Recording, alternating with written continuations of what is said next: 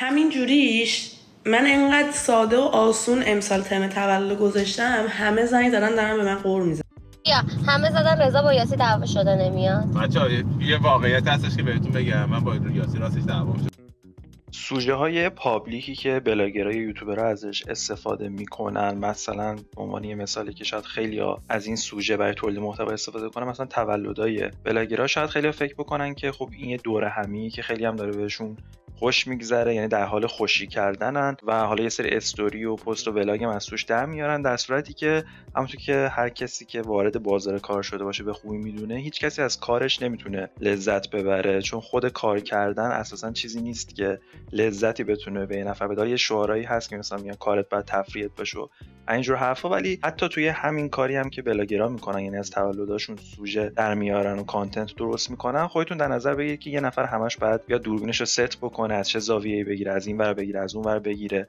فلان makeup بکنه فلان لباس الان بپوشه فلان صحنه رو الان بازسازی بکنه و مدام در حال عکس گرفتن و فیلم گرفتن باشن و طبیعیه که توی همچین وضعیتی یه نفر نمی‌تونه مثل یه کسی که حالا یه تولد خصوصی گرفته و دوستاشو دعوت کرده از اون ماجرا لذت ببره. همونطور که فکر کنم در جریان باشید دیروز تولد یاسی گرفته شد که فکر کنم یکی از بزرگترین تولدایی بود که اخیرا توی community فارسی داشت گرفته می‌شد و خب خیلی هم مفصل بود. خیلی از یوتیوبرها و بلاگرها و اینفلوئنسرایی که توی ترکیه حضور داشتن دعوت شده بودن.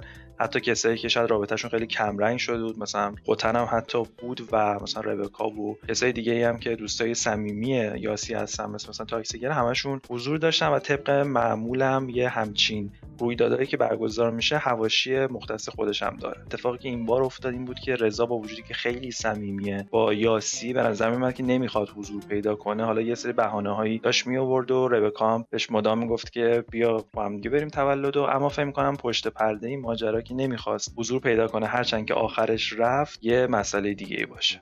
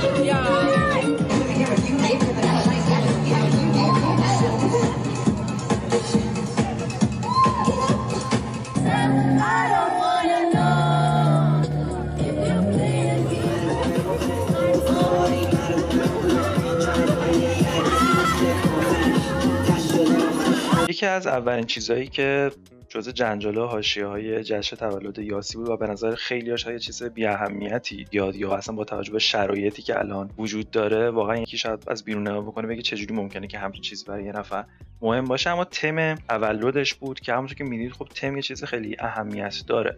شاید بعضیا بگن که حالا مثلا که چی تولد همه مثلا یه جور بپوشن یه تمی داشته باشه بر اساس اون بخوان رفتار بکنن. اما این موضوع توی تمام جاهای دیگه هم وجود داره. مثلا توی پادگانهای نظامی همونطور که می‌دونید همه باید یه لباس مشخص و فرم پوشیده باشن و این نشون میده که چقدر این موضوع مهمه. و حالا مثلا توی یه سری از برنامه هایی هم که همه فکر می‌کنم دیده باشن مثل بفرمایید شام. هر قسمت برنامه تو ورژن اصلیش منظورم که شبکه من تو میذاش. هر قسمت برنامه یه تمی داشت که خیلی وقتام سر اون تم دعوا شکل نه بابا تم تولد رو یه جور دیگه گذاشتم. حالا می‌بینید. همین جوریش من انقدر ساده و آسون امسال تم تولد گذاشتم همه زنگ زدن دارن به من قور می‌زنن. ببینید اگه من تم پلنگی میذاشتم اینا می‌خواستن چیکار کنن با من؟ انجام نمیدن. دلتون خوشه ها. خودم تنها اگه مثلا دست خودم بود انجام می‌شد. ولی بچه ها نمیپوشن که. کلا سه تا رنگ می‌تونستیم بپوشیم. یکیش آبی کم رنگ بود صورتی کم رنگ با سفید دیگه. من و خودش از الان گوازی منم- می‌خواد مثلا یه بنفشی چیزی اون وسط بپوشه من می‌شناسم کسافت. بابا. جلوتر راست. جنجال دیگه ای که وجود داشت برای این تولد همونطور هم که گفتم خب طبیعیه که توی همچین دور همیایی که خیلی آدمای متنوعی میان مثلا ربکا چند وقتی که حتی مثلا با خوتن دیگه خودش ارتباطی نداره حداقل به شکل پابلی یا خیلی دیگه که اومده بودن شاید مثلا برای اولین بار همدیگه رو ببینن و خب خیلی ممکنه که یه ناراحتی دلخوری اتفاقی بیفته توی این دور همیایی که گرفته میشه. و رضا هم همونطور که فکر کنم بدونم می‌خواست که این تولد رو نره و از قبلم ربکا چندین ما بهش گفته بود بیا زشت چرا نمی‌خوای بیای و از این جور حرفا که کاملا مشخص بود که احتمالا با یه نفری که اونجا هست مشکل داره که خیلی گفته بودن اصلا به خود یاسی دعوا کرد. بچه شاید باورتون نشه ولی من توانایی روندن ماشین با پارم دارم. بری با آی بری با ولی خب بابا باش واقعا خیلی زشته نمیاد. من دردن داشکری بچه شما یادتون باشه که چجوری تو ماشین رقصید و تولد و پیچ آی گردنم. آره، باشه. آی، ب- خیلی درد دارم. خیلی آره. با پاشو برو خونه آماده شو بیا زشته به خدا. من نمی‌فهمم اصلا چه مسخره دلون بازی. دلون وای. قیدی وای. بیا الان همه میگن رضا چرا نمیاد؟ دلیل قانع کننده بیار برای هممون بعد دلیل قانع کننده بیار. الان یه دلیل قانع کننده بهتون بگم. بچه واقعا من چون تازه ختم کردم دکتر کد زیاد راه نباید بریم. آقا مسخره بازی در چنل خودم اگه آقا یعنی چی من آقا من از امروز بهش میگم واسه چی نمیاد میگه حال ندارم. به خدا فازشو ندارم. فلانم. یعنی چی؟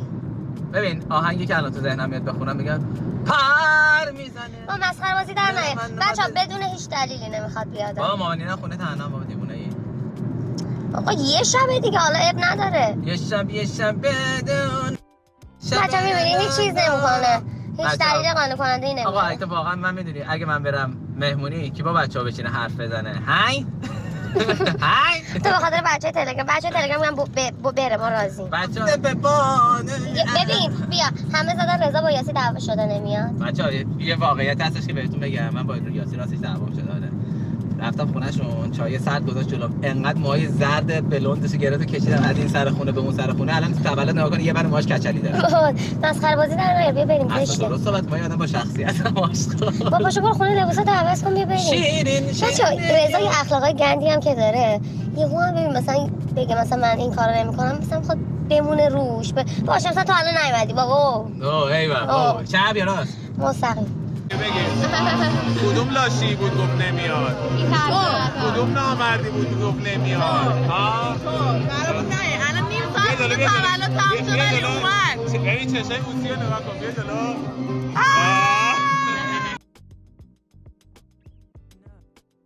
از سمت دیگه هم از اون وقتی که آرتا از ربکا جدا شد همونطور که می‌بینید دیگه هیچ وقت تولد مفصلی نگرفت در صورتی که وقتی با ربکا بود همین وضعیتی که مثلا برای تولد یاسی بود حتی بزرگتر اتفاق میافتاد. وقتی که تولدش بود همین چند روز پیش هم تولد آرتا بود که خب خیلی اومدن تبریک گفتن اما میگم باز به اون نسبت وقتی که با ربکا بود خیلی کمتر بود این ماجرا. و یه درامایی هم که اخیرا به وجود اومده بود این بود که خیلی گفتن ربکا بردیا دارن هم جدا میشن مدیر برنامه‌اش. یعنی چون به حال بردیا الان خیلی با گروه وانتونز داره وقت میگذرونه. و به نظر میاد که اصلا کار اونا رو فقط داره جلو می‌بره. تولد بردیا هم ربکا تبریک نگفته بود. توی استوریاش اما اتفاقی افتاد این بود که بردیا اومد 4 5 تا استوری مختص آرتا گذاشت و خب کاملا مشخصه که یکی از صمیمیترین کساییه که با هم دیگه دارن و حالا لحظات مشترکی که با هم دیگه مدت داشتن اومد با بقیه به اشتراک گذاشت.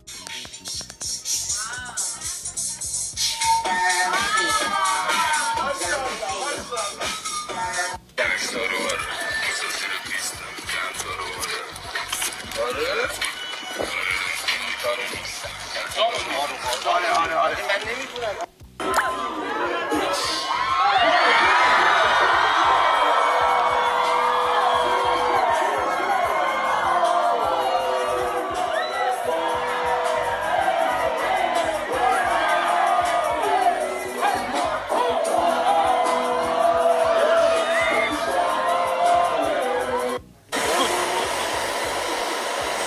and turn. Awesome, awesome. Exactly. Like this. You like this. Yeah.